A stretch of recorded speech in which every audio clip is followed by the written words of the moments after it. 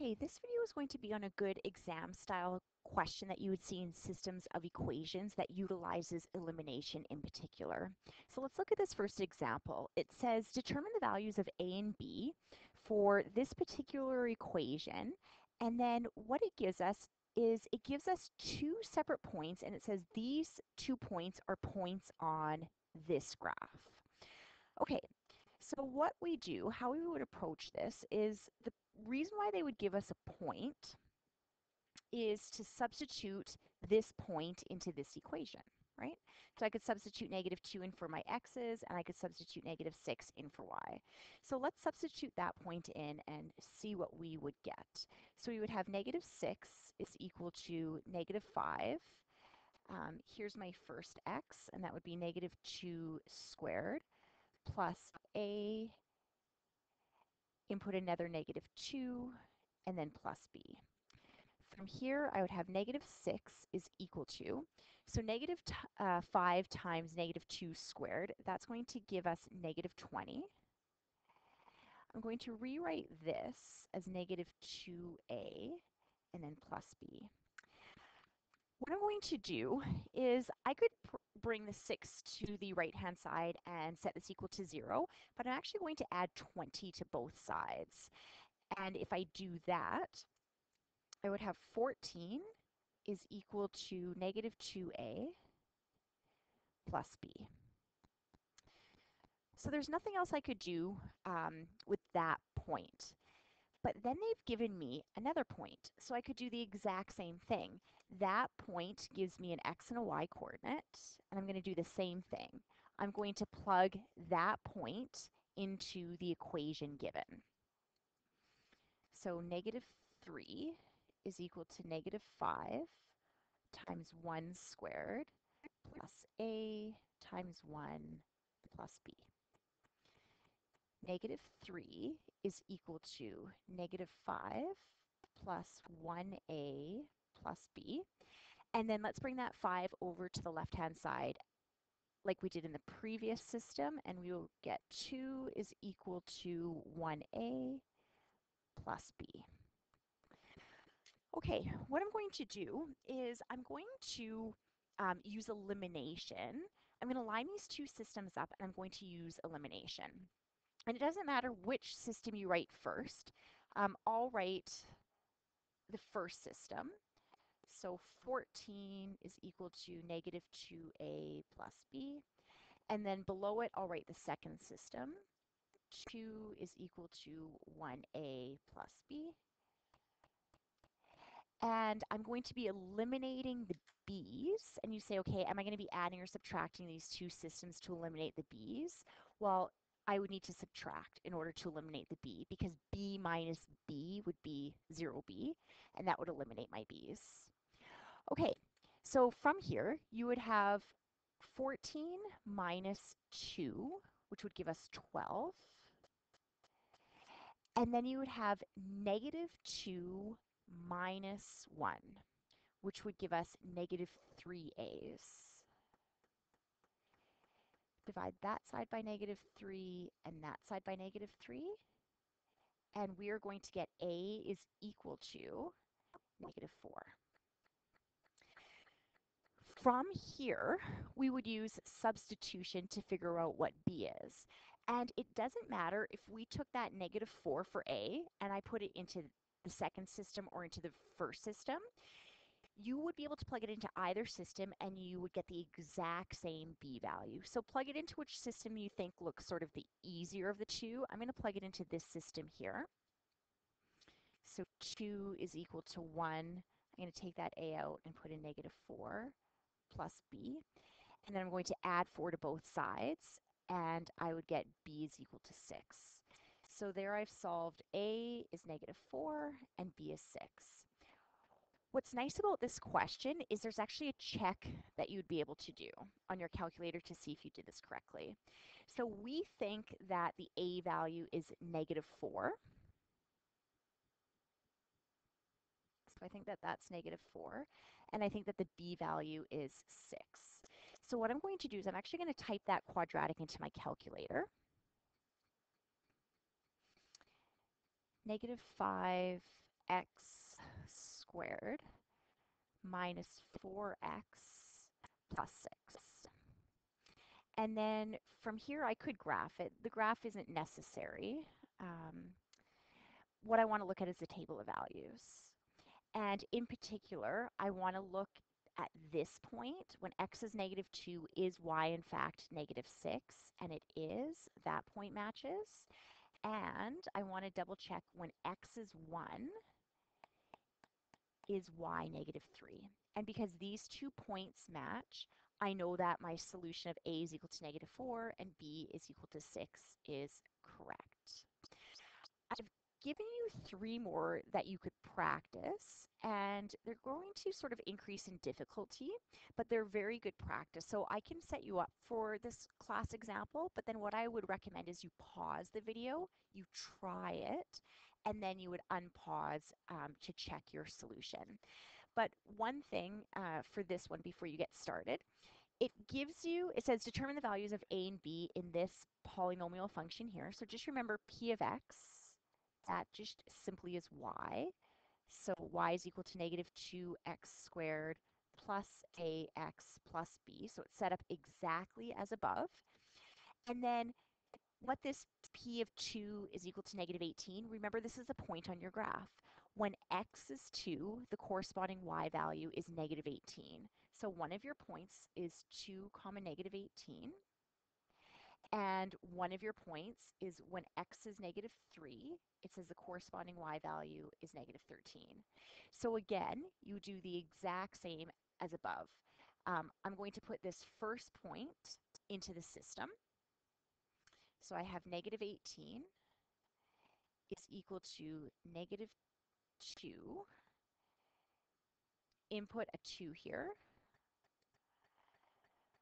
plus a times 2 plus b. Negative 18 is equal to, so this would give me 4. 4 times negative 2 is negative 8 uh, plus 2a plus b. And then like above, I'm going to do the same thing. I'm going to add that negative 8 to both sides, and I'm going to get negative 10 is equal to 2a plus b. Okay, let's input the second point. So negative 13 is equal to negative 2, negative 3 squared plus a times negative 3 plus b. Negative 13 is equal to so this would give me 9 times negative 2 would give me negative 18 minus 3a plus b. And then I'll add 18 to both sides and I will get 5 is equal to negative 3a plus b. Okay, so you've got your two separate systems and I could see again that this is set up nicely to eliminate B. So write one system over top the other system. It doesn't matter which system is first. So actually what I'm going to do is I'm just going to keep this system written as it is. And below that, I'll write the negative 10 is equal to 2a plus b. Now, when we were in class doing this one, a lot of students actually struggled with the elimination and subtracting negatives and what your answer would be. So again, I want you to pause this, see what you would get, and then unpause to see if you get the same A value that I would get. Okay, so the B would uh, the B's would eliminate because B minus B would just cancel. This would be 5 minus negative 10. So remember that 5 minus negative 10, two negatives would give you a positive, and that would give you 15 then you would have negative 3a minus 2a. So negative 3a minus 2a, that's going to be negative 5a. And you would divide both sides by negative 5, and you would have a is equal to negative 3. And then again, from here, put that into either system. Um, I'll just actually put that into this system here since I've got room. So negative 10 is equal to 2 times negative 3 plus b. Negative 10 is equal to negative 6 plus b. Add 6 to both sides, and I'm going to have b is equal to negative 4. Now I would want to check this, right, uh, to make sure that this looks good. So I think A is negative 3, and I think that B is negative 4. So on my calculator, I do exactly as I did above.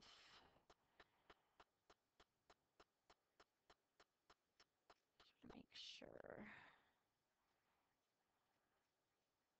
Okay, so negative 2x squared, and then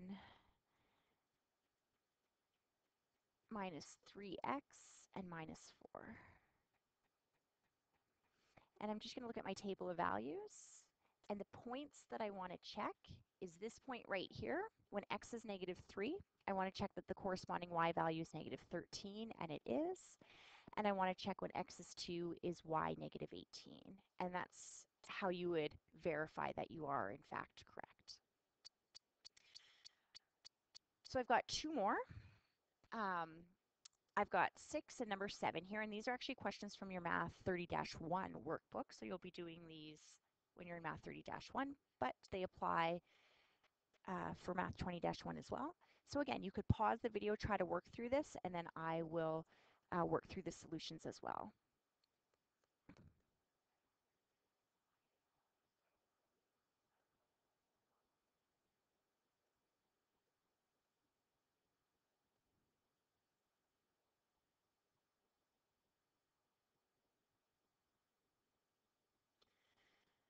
Okay, so I'll input that first point.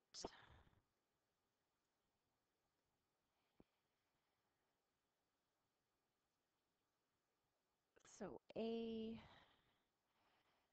times 1 cubed plus B 1 squared plus 3 times 1 minus 4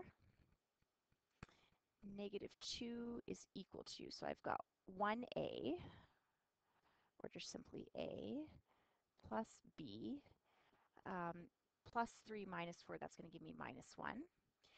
And then if I add that one to both sides, I'm going to get negative 1 is equal to a plus b. All right, let's input that second point of 2 comma 2.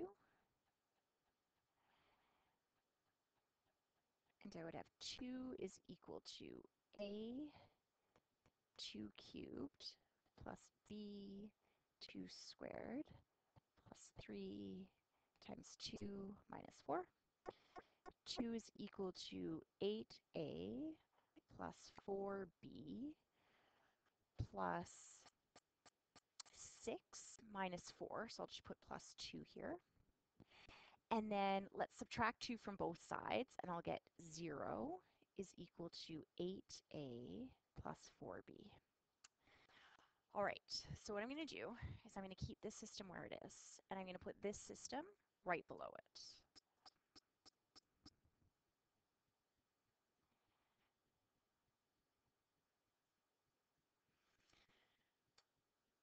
Um, okay, so I can't right now eliminate the b's like I was able to do in the last example. Now I could do a couple different things. I could solve, let's say, for b or a here, and then I could do substitution. But you know what? I want to keep doing elimination because that's what I was doing. And I'm going to eliminate the b's like I was doing before. So if I want to eliminate the b's, what I need to do is I need to multiply this system by 4. Okay, so watch what would happen. My first system is going to stay exactly as is. 0 is equal to 8a plus 4b. And then my second system, if I multiply everything by 4, I would get negative 4 is equal to 4a plus 4b. And now I'm set up to once again eliminate the b's. But be careful with your elimination, right? 4 minus 4 will cancel. 0 minus negative 4. Two negatives will give you a positive, so that actually equals 4. 8 minus 4a, so 8a minus 4a, that is going to give you 4a's. Divide each side by 4, and we will get a is equal to 1. And then let's put that into this system here. If a is equal to 1, and I would get b is equal to negative 2. Okay? And again, to double check that, please make sure that you are typing A is 1, B is negative 2, and you put that into your calculator in Y1, and you double check these two points. So I'll allow you to do that, and then you could watch class example 7. Okay, what I like about this class example is actually three points are given, and there's three missing variables, an A, a B, and a C. But watch what happens when we input the first point. So we're given ax squared plus bx plus c.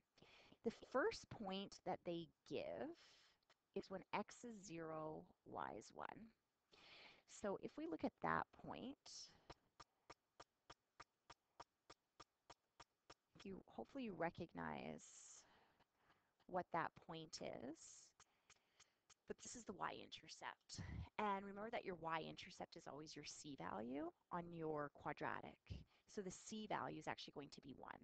But how you would get that is uh, 0 times a which just give me 0, plus b times 0 is 0, plus c. So c is equal to 1. So now, with my uh, parabola, I know that C is 1. So now I could go to this point and let's input that point.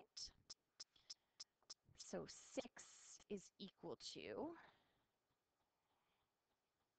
a times 1 squared plus b times 1 plus 1. 6 is equal to 1a or just a plus b plus 1. Let's get rid of that 1 and we're going to have 5 is equal to a plus b. All right, the next point was this guy, and that coordinate was at negative 1 comma 2. So let's input that point. I'll just do that over here. 2 is equal to a negative 1 squared plus b negative 1 plus 1.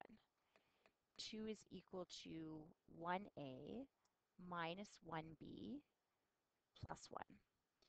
Bring your 1 to the left, so minus 1 minus 1, you're going to get 1 is equal to 1a minus 1b. Okay, let's set up our systems again. So again, I'll just keep this system here and I'll write this system right under it. So 5 is equal to 1a plus b. Now, if you look at these two systems, um, it's not the b's that are going to be eliminated if I subtract, right? So if I subtract, I would have negative 1 minus 1b, and that would give me negative 2b's. If I subtract, actually the a's would eliminate which is fine. But let's say I wanted to eliminate the b's, like to keep all the questions the same. What I would be doing to the two systems is I would actually be adding the two systems. So 1 plus 5 would give me 6. 1a plus 1a would give me 2a. And the b's would eliminate because you'd have negative 1 plus 1. That's where the b's would eliminate. Divide both sides by 2, and you would get a is equal to 3. And then we'll put A's 3 right here. And we will see that B is equal to 2.